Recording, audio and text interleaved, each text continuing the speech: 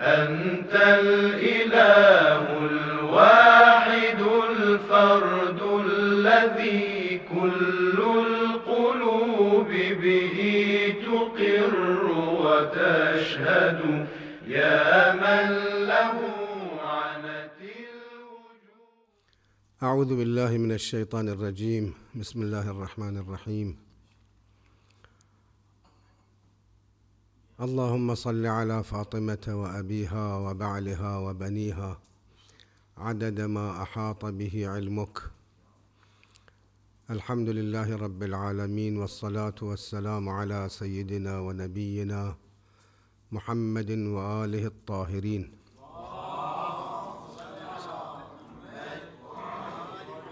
واللعن الدائم على أعدائهم أعداء الله من الآن إلى قيام يوم الدين.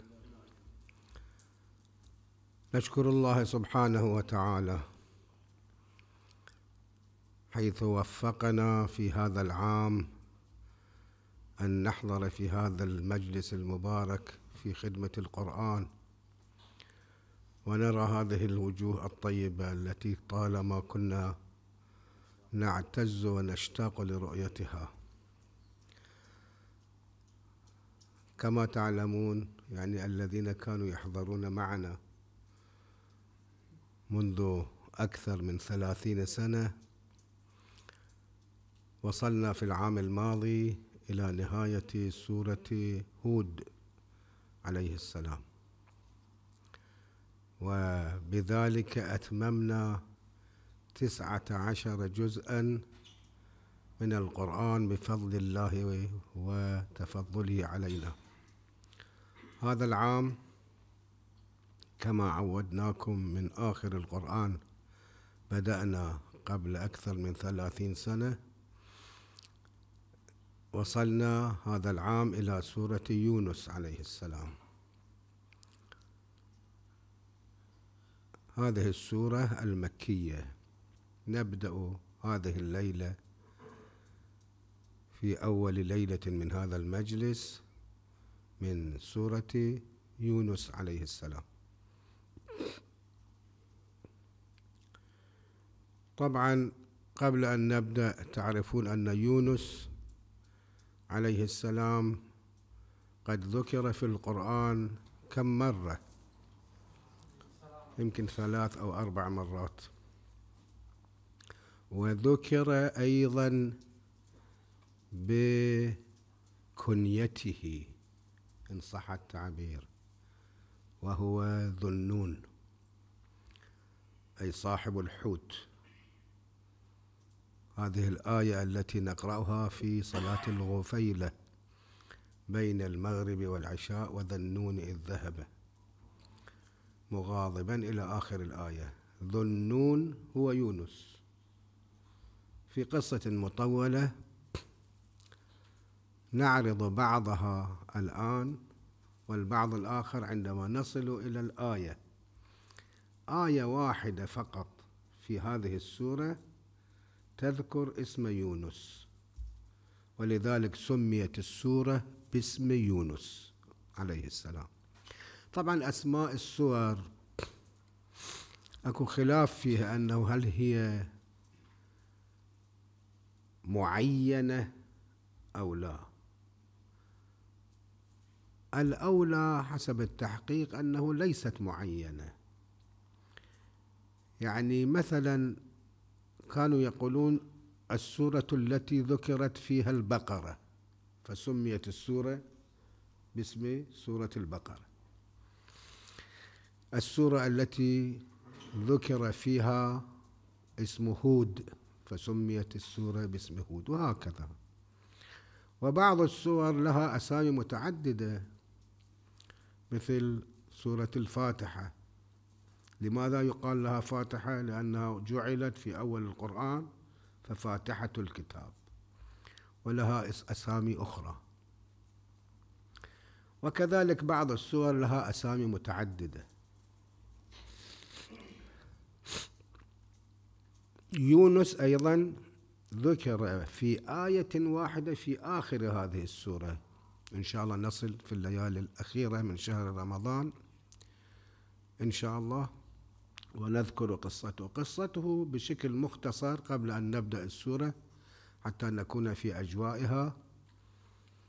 يونس وعدة من الأنبياء إلياس واليسع وأتصور إسماعيل غير إسماعيل ابن إبراهيم لا إسماعيل آخر. هؤلاء كانوا من أنبياء بني إسرائيل. بعد رحيل موسى عليه السلام تفرقت بنو إسرائيل. كل قبيلة ذهبت إلى منطقة وكونوا دولة وحضارة وحكومة مثل بقية الأمم. هم كانوا شقد كانوا 12 سبط. يوسف عليه السلام وإخوته الأحد عشر. فكل واحد عنده ذرية. يوسف عاش فترة وملك مصر وكون حضارة دينية شامخة وأنقذ مصر. كما تعلمون في سورة يوسف قرأناها سابقا. بعد ذلك هؤلاء عندما انتقلوا إلى هذه المناطق بين العراق والقدس وفلسطين ولبنان وسوريا والعراق وما أشبه تفرقوا. كل سبط أي كل ولد من هؤلاء من أولاد يعقوب أخذ عائلته وراح إلى منطقة.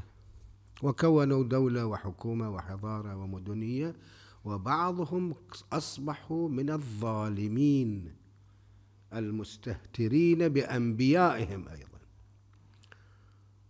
بطبيعة الحال الله سبحانه وتعالى رفقا بالأمم وبالشعوب وبمن خلق إحنا البشر. الله هو يحبنا حقيقة أكو أحاديث عجيبة حول أن الله يحب خلقه. كان يبعث أنبياء وذول يقتلون يأذون يعذبون يسجنون وما أشبه. منهم هذا يونس عليه السلام صاحب هذه السورة. أيضا بعث إلى منطقة يقال أنها نينوى في العراق يمكن. إلى مئة ألف. في آية أكو مئة ألف. يعني شعبهم كانوا مئة ألف واحد. منطقة يسكن فيها مئة ألف. هؤلاء أيضا بغوا على يونس عليه السلام. وعذبوه وآذوه. يونس كان صبر قليل كأنه. فطلب من الله العذاب. على قومه. فجاء الخطاب في الوحي أنه يا يونس اصبر تأني شوية. أنا أمهلتهم وأمهلهم حتى يهتدوا. عذاب الاستيصال كم مرة قلنا في السنوات السابقة؟ الاستيصال يعني شنو؟ يعني القلع من الجذور. كلهم يدمرون.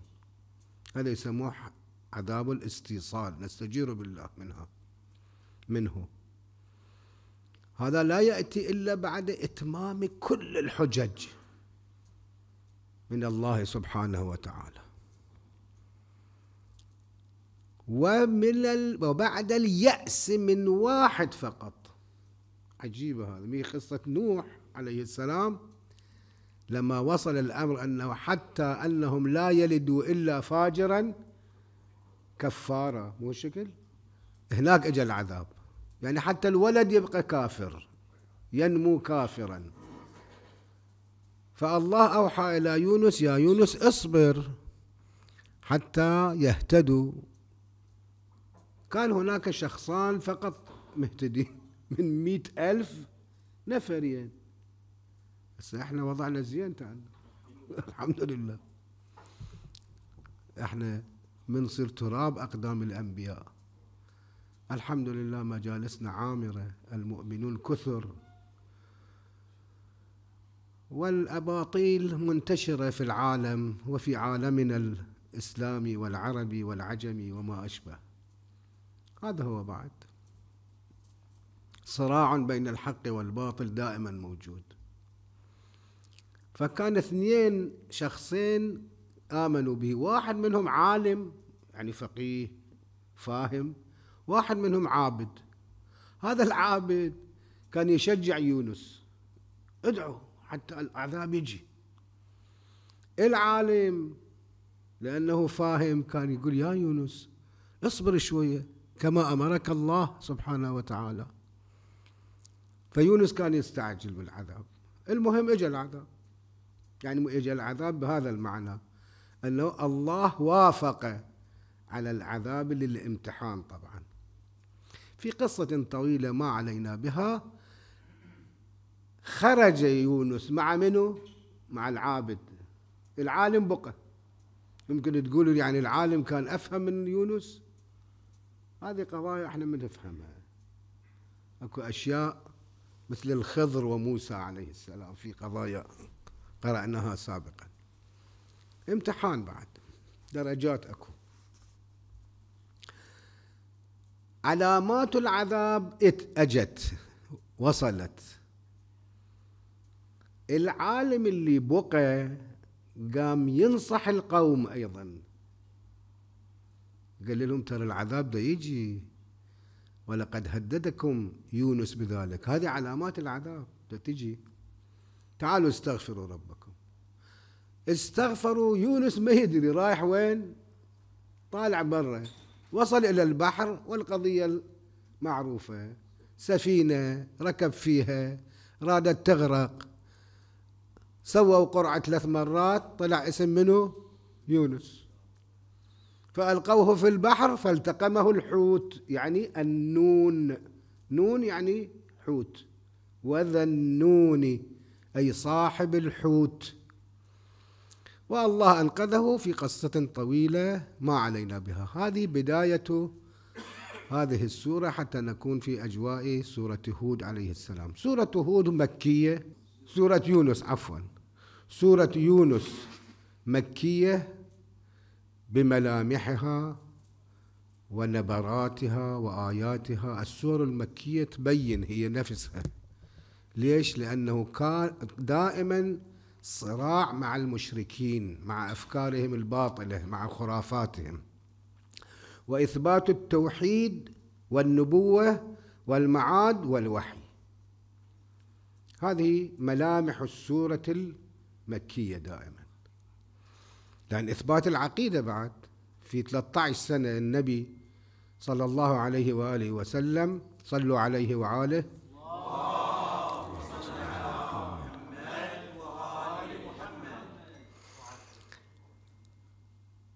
13 سنة كان في مكة. السور كانت تترى تتلى.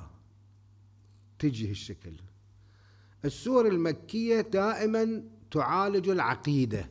فملامح السورة المكية سور المكية واضحة جدا. تعالج جوانب كثيرة من التوحيد والنبوة والوحي وأيضا المعاد. نبدأ في هذه السورة سورة يونس. أعوذ بالله من الشيطان الرجيم. بسم الله الرحمن الرحيم. ألف لام را. تلك آيات الكتاب الحكيم.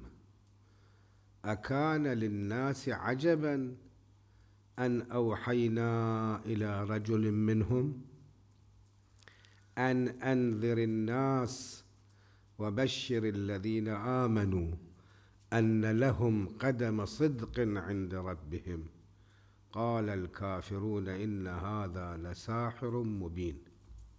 طيب.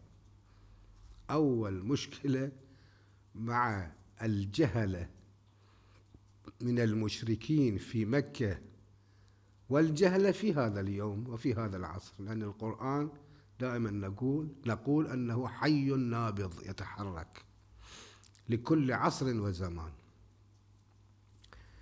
السورة تبدأ بالحروف المقطعة. ألف لام را. قلنا سابقا. إما هي رموز بين الخالق ورسوله صلى الله عليه وآله وإما هي بمعنى أن هذه الآيات التي تعجز العرب والعجم عن الإتيان بمثلها مركبة من شنو؟ من هذه الحروف الهجائية. ألف لام را ميم كاف ها يا عين صاد وهكذا. خاصة في هذه السورة السور المتتابعة سورة يونس هود قبلها أيضا وبعدها كلها إشارة إلى القرآن بها. شوفوا ألف لام را. تلك آيات الكتاب الحكيم. يعني إشارة إلى القرآن. من هذه الحروف ركبت القرآن. ولكن أنتم تعجزون أن تأتوا بآية من مثله. هذا تفسير. ويمكن كل التفاسير للحروف المقطعة صحيحة. هي رموز أيضا إشارات إلى أشياء عظيمة بين الخالق والأنبياء. ليش تلك؟ يقول. لازم يقول ذلك. تلك إشارة إلى البعيد. القرآن قريب هنا. البلغاء في اللغة العربية يقولون الإشارة إذا كانت لشيء خفيف عادي يجي للقريب. ذلك هذا. إذا كان لشيء عظيم جدا وفخم تأتي الإشارة بالبعيد. لأن آيات القرآن عظيمة وجليلة جدا فالإشارة تأتي بالبعيد. هذه من البلاغة في اللغة العربية. حقيقة اللغة العربية لغة جدا ممتازة. مو لأنه إحنا عرب مو أنه يعني لأننا عرب ونفتخر أن نكون من العرب. ماكو إشكال. العرب أيضا أمة. ولكن اللغة العربية ممتازة جدا. في مو... الآن ماكو وقت حتى أشرح ليش ممتازة. منها من امتيازاتها البلاغة العجيبة التي موجودة في اللغة العربية. كل لحظ كل ملحوظة فيها لها اعتبار خاص. منها هذه تلك يعني ها تلك إشارة إلى البعيد يعني العظمة. آيات الكتاب الحكيم يعني هذه الآيات التي تقرؤونها آيات كتاب حكيم حكيم يعني شنو؟ إحنا نقول القرآن الكريم القرآن المجيد والقرآن الحكيم أيضا. هنا قايل حكيم. حكيم يعني كله حكمة كله موعظة. كله درس كله عبرة هذا من جهة. من جهة ثانية حكيم يعني محكم. متزن. مو متهالك. تشوفون بعض الأفكار متهالكة ومتهاوية. يأتي ويذهب. تأتي الأفكار وتذهب. إيش قد إجوا أفكار باطلة؟ من الفلاسفة من العرفاء من ال... الذين يدعون العلم في الأمور في العلوم الإنسانية يعني. إجوا راحوا انتهوا. واصلا تلاشوا. أفكارهم أم راحت؟ رؤى القرآن بصائر القرآن محكمة حكيم. هذا معنى كتاب الحكيم. ومعنى آخر أنه كل شيء فيه يرتبط بالآخر. حقيقة أنت لما تقرأ القرآن إذا بتدبر واحد يقرأ يشوف مثل في الجبل هسه شكل أمثل وإلا تمثيل مو صحيح جدا. ولكن من باب التقريب في الجبل من الأحجار الكريمة المتراكبة بعضها مع بعض. كل آية تعضد الآية الأخرى. كل فكرة تعضد الفكرة الأخرى. متناسقة. مو في شيء أول شيء جاي قايل في شيء بعدين خلافة يقول. هذا معنى المحكم. تلك آيات الكتاب الحكيم. خب بعدين رأسا يتوجه في هذه الآيات من سورة يونس أنه المشكلة التي كانت في زمن رسول الله في مكة وإلى الآن موجود. هاي المشكلة. ليش الله يدز رجل نبي يصير؟ ليش ما يدز ملك؟ هذا الإشكال اللي بعضهم إلى الآن يقولون. شوفوا أكان للناس عجبا أن أوحينا إلى رجل منهم كانوا يستشكلون على الرسول يقولون يا محمد أنت رجل منا. اللهم صل على محمد وآله نعرفك. أبوك عبد الله عمك أبو طالب زوجتك خديجة سلام الله عليهم جميعا. أنت من عندنا. أنت صرت نبي؟ شلون يعني؟ هذا الكلام قبل كانوا يقولون للأنبياء السابقين. إلى عيسى إلى موسى إلى إبراهيم وإلى بقية الأنبياء. كأنه كان توقعهم وانتظارهم أنه في واحد يجي غريب. ملك ينزل مثلا. الجواب أنه في الجواب أكو جدا جيد. شفته في تفسير من التفاسير اليوم أنه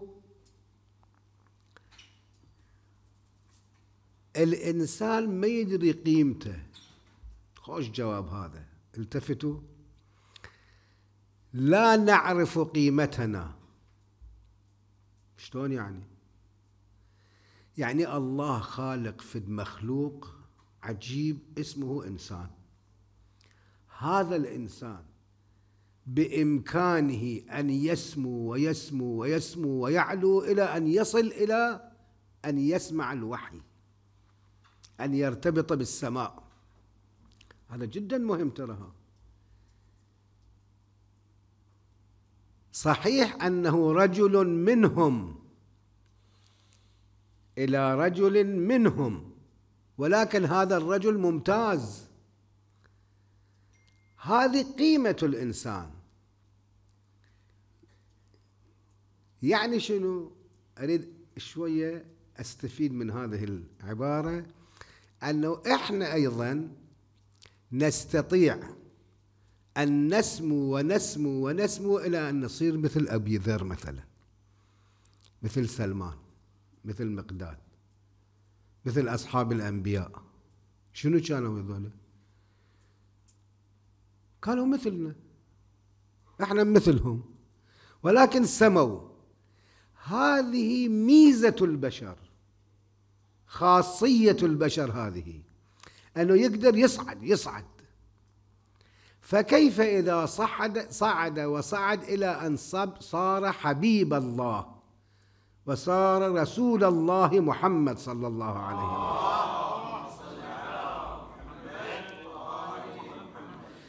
الجهال من المشركين ما كانوا يلتفتون إلى هذه المعنى إلى هذا المعنى.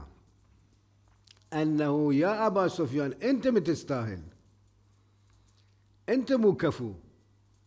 ولكن هذا الرجل مو عادي هذا. هذا محبوب الله صفي الله نجي الله. نعم في بشريته مثلك. أنت تمشي وهو يمشي. أنت تأكل وهو يأكل. أنت تنام وهو ينام. ولكن الله جعل فيه خاصية وقدرة في هذا الإنسان العادي أن يسمو. هذا خوش جواب. ليش يصير واحد نبي واحد ما يصير نبي؟ الله يصطفيه. بعدين أكو إشكال أكو حل ثاني إذا يكون منكم خو أحسن. يعرف آلامكم وآمالكم وأحزانكم وأتراحكم ومصائبكم وشجونكم منكم وفيكم. فإذا النبي يكون منكم أحسن من أنه من غيركم يجي. هذا إشكال جدا تافه كان منهم. شنو كان؟ أكان للناس عجبا أن أوحينا إلى رجل منهم. طيب هذا الرجل اللي جاي منهم شي يريد؟ أن أنذر. شغله هذا. النبي وظيفته ومسؤوليته الإنذار والبشارة. يعني إذا نريد نلخص النبوة نلخصها في جملة واحدة أو في كلمتين. النبي شنو شغله؟ شنو مسؤوليته؟ إنذار وتبشير. إنذار للناس جميعا. أن أنذر الناس. ناس يعني شنو؟ يعني كل الناس. إنذار. بشنو؟ بالعذاب. بالعاقبة السيئة. البشارة لمن؟ البشارة للمؤمنين فقط. وبشر الذين آمنوا. شوفوا الدقة في التعبير القرآني. أكرر. أن أنذر. يعني شغل النبي هذا. رجل منهم أن أنذر الناس يعني كل الناس انذار. ديروا بالكم هاي الدنيا لم تخلق للعيش فيها. أنتم عندكم آخرة. البشارة علما للذين آمنوا. وبشر الذين آمنوا. شنو البشارة؟ أن لهم قدم صدق عند ربهم. الله أكبر من هذه الآية.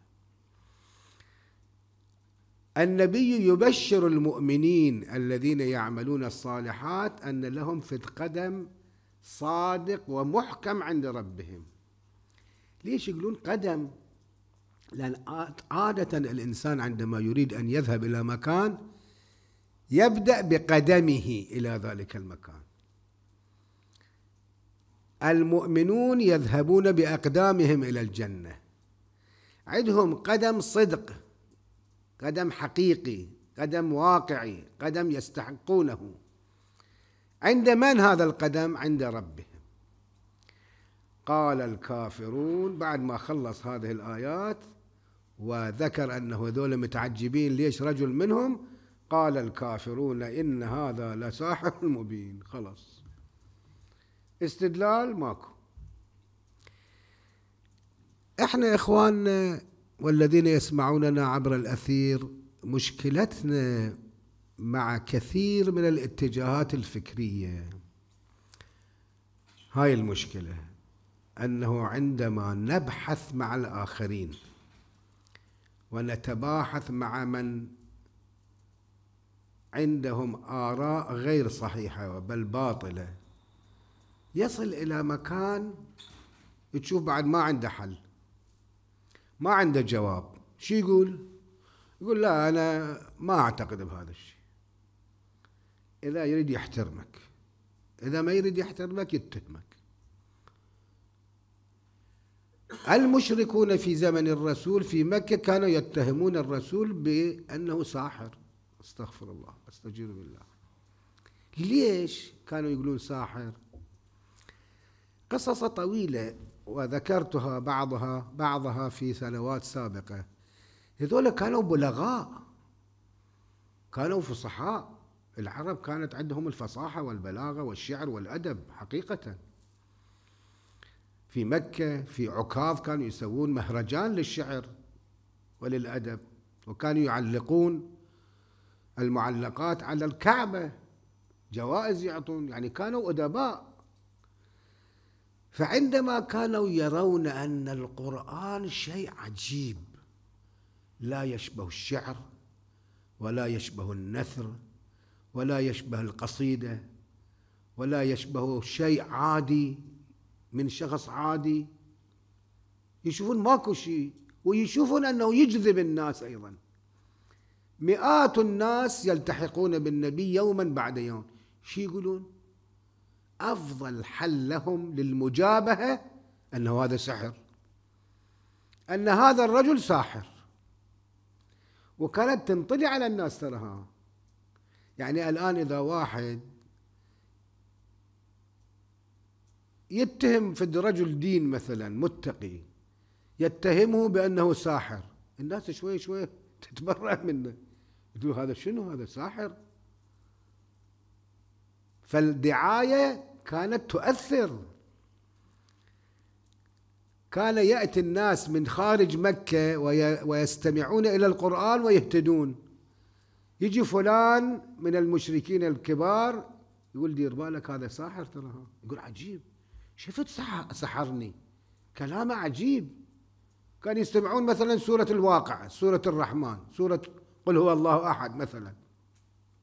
كان ينجذب. من الفصاحة والبلاغة والدقة في التعبير والتأثير العجيب فكانوا يهتدون. شنو الطريقة لإبعاد هؤلاء؟ اتهام النبي بالسحر. هذا ما الواحد ما عنده برهان وما عنده دليل يعني مفلس بالنتيجة. جيبه خالي عن الدليل صدره خالي عن البرهان. ولذلك يقول ساحر.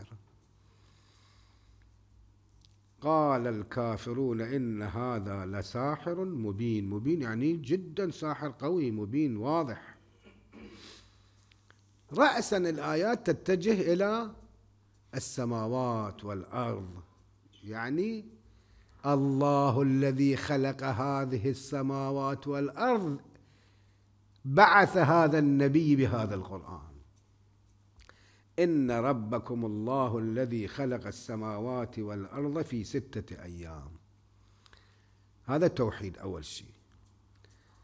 الله أولا هو الخالق وهو الرب. نكرر دائما كل سنة نقول أنه نحن نعتقد بخالقية الله وبربوبية الله. خالقية يعني شنو؟ يعني خلقنا خلق الكون. وتركنا؟ لا أبدا. ربنا يعني لحظة بلحظة هو يدير الكون كله ويديرنا. إن ربكم الله الذي خلق السماوات والأرض في ستة أيام. شرحنا هذا سابقا. أيام في اللغة العربية مو بعد 24 ساعة أو 12 ساعة. فترات من الزمن. يمكن تستمر إلى ملايين السنوات كما يقولون الآن في العلم الحديث ماكو مشكلة. في ستة مراحل يعني. عادة الخلق هكذا. كما أن الجنين يبقى في رحم أمه كم؟ تقريبا تسعة أشهر. هو كان ممكن يطلع في دقيقتين. ما كان ممكن؟ كان ممكن. سنة الله في الخلق هكذا. حتى في السماوات والأرض.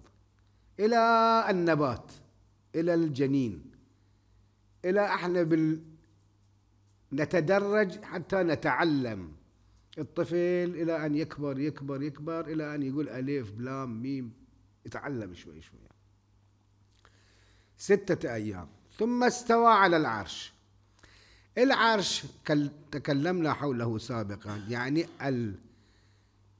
الهيمنة على جميع الكون. مو معناته أن أكو كرسي وهناك قاعد أستغفر الله الله يروح يقعد على الكرسي كما يقولون مع الأسف بعض الأديان الباطلة. الاستواء يعني السيطرة على إدارة الكون. هذه كلمات بلاغية. استوى على العرش. شو يسوي؟ الله يدبر الأمر. الله أكبر من هذه الجملة. يدبر الأمر للنبات للحيوان للأفلاك للمجرات للإنسان للجنين في بطن أمه. تدبير هذه الأمور بيد من؟ بيد الله سبحانه وتعالى. يدبر الأمر. ما من شفيع إلا من بعد إذنه. هم كانوا يقولون الأصنام شفعاؤنا. الله يقول شفاعة موجودة ولكن بعد إذن الله. إحنا تكلمنا حول هذا الموضوع سابقا. نحن نعتقد بالشفاعة لرسول الله محمد صلى الله عليه وآله. ولآله في الدنيا وفي الآخرة نعتقد. ولكن بشنو؟ بعد إذن الله. وهذا مو شرك. هذا عين الآية آيات كثيرة. ما من شفيع يعني ليس له شفيع إلا من بعد إذن الله. ذلكم الله ربكم. ذلكم خطاب إلى المشركين. الله ربكم. فإذا هالشكل أنه الله خالق السماوات والأرض وربنا ويدبر الأمر ويدير الكون ويديرنا ويدبر أمورنا فاعبدوه هو الذي يستحق العبادة مو الأصنام. أفلا تذكرون؟ تذكرون يعني شنو؟ يعني كنتم ناسين؟ نعم. الإنسان في فطرته سليم إخواني. الإنسان يخلق سليما طاهرا نقيا. وإنما الأجواء تدنسه وتخربه. وله فطرته سليمة. إذا أراد أن يرجع إلى فطرته شنو لازم يسوي؟ أفلا تذكرون؟ لازم شوي يفكر. هذه السماوات هذه المجرات شوي واحد حقيقة يدرس بعض العلوم الحديثة اللي بعضها أفلام صايرة بعد. أفلام صايرة. هذه العين اللي إحنا ما نعير لها أهمية. قد دقيقة في تضاريسها وعروقها. هذه الشكل قطرة صايرة يعني؟ تدبيرها بيد الله سبحانه وتعالى. فكيف بالمجرات والكرات السماوية؟ كل هذه الأمور تدل على أن المعبود هو الله سبحانه وتعالى والخالق هو والرب هو. إذا كان هكذا فيجب أن نعبد الله وحده لا شريك له. أفلا تذكرون التذكار يعني الرجوع إلى الفطرة السليمة. أنا أعتذر الليلة شوية. صحتي مو زينة فنختصر أول ليلة. أنتم في أول ليلة لازم ترتاحون شوية. صيام مقبول إن شاء الله ومن غد إن شاء الله شوي أكثر نقرأ. أما العادة الدائمة المباركة أن نقرأ حديثا أو موعظة عن رسول الله صلى الله عليه وآله وسلم لأبي ذر عليه السلام رضوان الله عليه. أبو ذر كان دائما آه، يلتصق بالنبي صلى الله عليه وآله وسلم ويتعلم منه أشياء.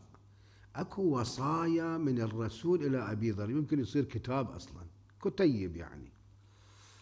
موجودة في كل الكتب الأحاديثية في البحار وغير البحار.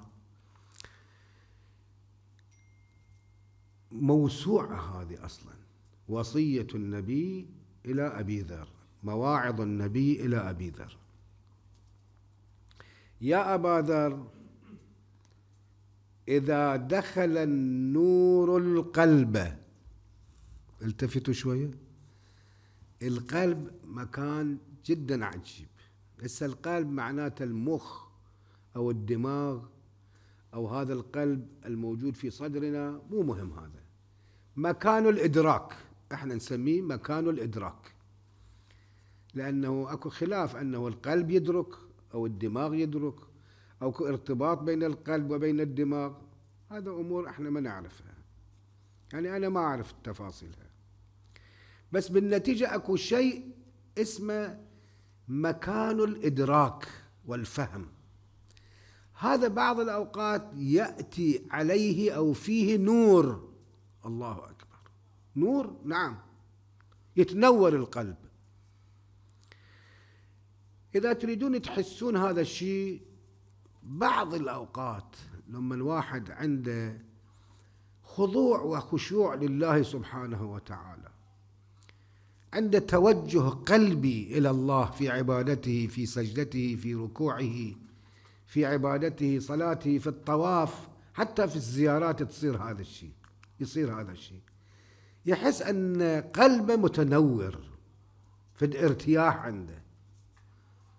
إذا دخل النور القلب. النور يدخل القلب. انفسح واتسع. القلب ينفسح يتسع. شلون يتسع يعني؟ لأني أمور معنوية طبعا مو أنه يصير كبير مثلا. يقبل الحقائق. يفهم كثير من الأمور اللي ما فاهمها سبق سابقا. أبو ذر تعجب قال يا رسول الله فما علامة ذلك بأبي أنت وأمي يا رسول الله؟ شنو علامته؟ يعني شو نسوي حتى قلبنا يتسع ويتنور؟ شو نسوي رضوان الله عليك يا أبا ذر. هذول أصحاب الأنبياء والأئمة جدا كانوا أذكياء. يعني يتحاورون مع النبي مع الإمام حتى يحصلون معرفة. وتجي هذه المعرفة إلينا أيضا. أبو ذر قال يا رسول الله علامته شنو حتى قلبي يتنور. قال رسول الله الإنابة إلى دار الخلود. يمكن أبو ذر كان يفكر في عملية جراحية يسوي مثلا. لا بسيطة جدا. الإنابة إلى دار الخلود يعني التوجه إلى المعاد. بيننا وبين الله وبين أنفسنا. إحنا في اليوم في النهار في الليل كم مرة نتذكر الآخرة؟ كم مرة؟ قليل. ولذلك نشوف قلوبنا مو متنورة. إذا أراد الإنسان أن ينور قلبه لازم إيش يسوي؟ قال رسول الله صلى الله عليه وآله علامة نور القلب نور القلب الإنابة إلى دار الخلود والتجافي عن دار الغرور. الدنيا دار غرور. تجافي يعني يدير باله يتركه. يعيش يشتغل ينمو يروح للسوق يشتري يبيع ولكن توجهه إلى الآخرة. قلبه مو هنا والتجافي عن دار الغرور والاستعداد للموت قبل نزوله. هاي أول ليلة وشوي خوفناكم. وخوفنا أنفسنا. الاستعداد للموت قبل نزوله. كم واحد من أصدقائنا في هذا العام الذي مضى ارتحلوا إلى الآخرة؟ رحمة الله عليهم حقيقة. شقيد من أصدقائنا القريبين منا. راحوا مع أنه كانوا شباب. الاستعداد للموت قبل نزوله. ثلاث أشياء.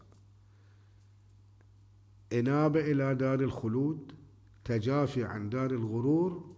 الاستعداد للموت قبل نزوله. هذا ينور القلب. بس شلون ينور القلب؟ جربوا.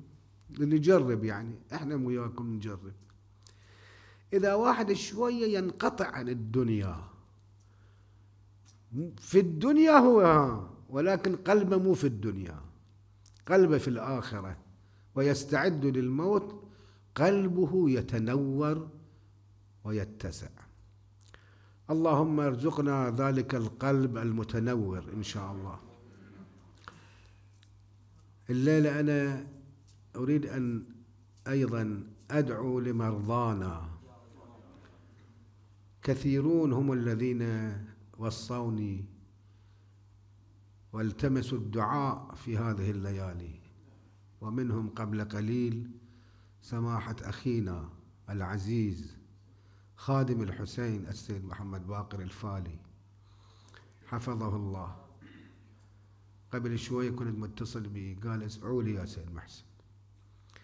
حقيقة إحنا لازم ندعو لهذا السيد ولبقية المرضى من المؤمنين والمؤمنات. اللهم اشفه واشف كل مريض. اللهم اشف كل مريض بحق هذه الليلة المباركة. اللهم ارزقنا توفيق الطاعة وبعد المعصية. اللهم أحسن عواقب أمورنا.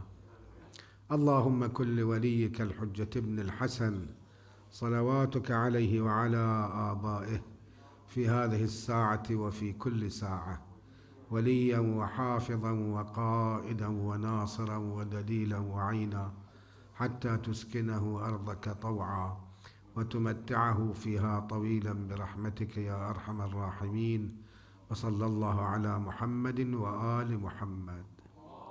أنت الإله الواحد الفرد الذي كل القلوب به تقر وتشهد. يا من له